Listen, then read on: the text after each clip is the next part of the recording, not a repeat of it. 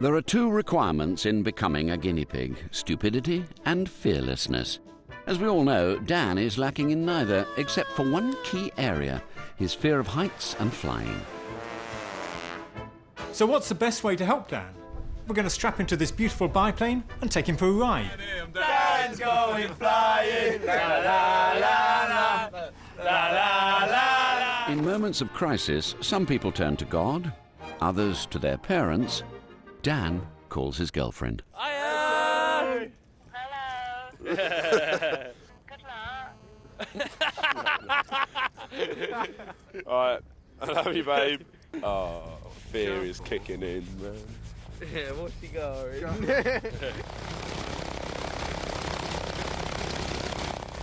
It's, I hate heights so much.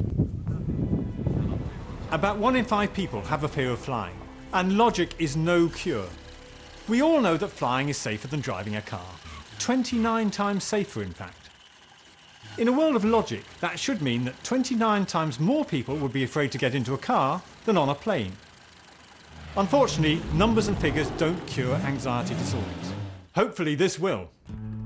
By the time he's on the plane, Dan's heart rate is 174 beats per minute. This is the equivalent of doing a hard, fast run. And he's crying. Scared pig! I'd be so scared by now, let alone scared of heights.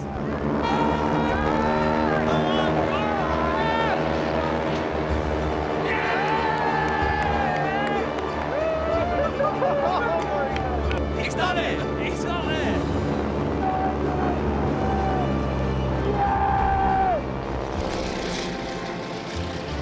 Yeah, he's doing really well.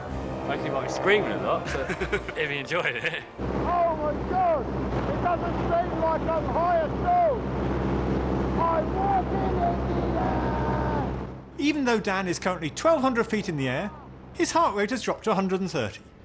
And he genuinely looks like he's enjoying himself. Oh